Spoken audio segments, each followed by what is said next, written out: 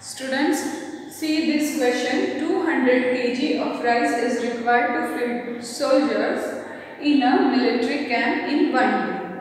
How many that how long will 6400 kg of rice last in the camp? That means here the information is given that the uh, 200 kg rice is required for a one day. So how many days will uh, take that the amount uh, the stock is given 6400 kg is given. So how many days it will uh, that the sufficient for this uh, kg of this the total number of stock is given. So we will put here the statement as the stock or we can say the total stock of rice is equal to 6400 kg. Hmm?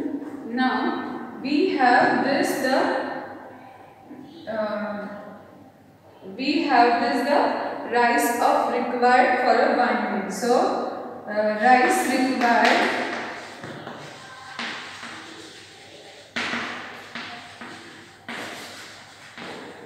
for a day is equal to 200 kg. Now we uh, find out the answer will that what is this? The how long will this rice last in the camp? So number of days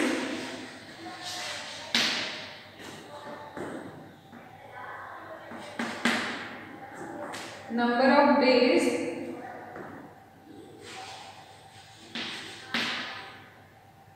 last for rice. So we'll write here the number of days last for rice is equal to 6400 divided by 200. That means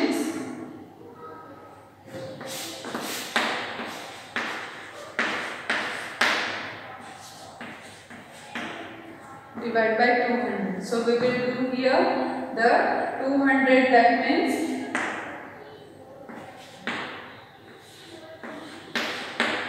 Two hundred multiplied by three, then we get the six hundred.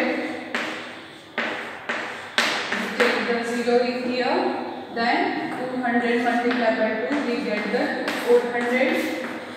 So the quotient is thirty-two. So we can say that 32 is a number of days. So number of days uh, that the 32, 30 is thus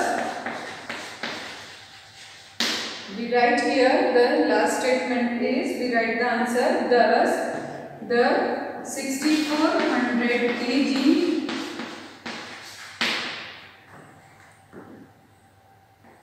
kg of rice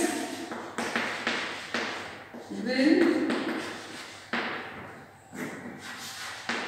filled to soldiers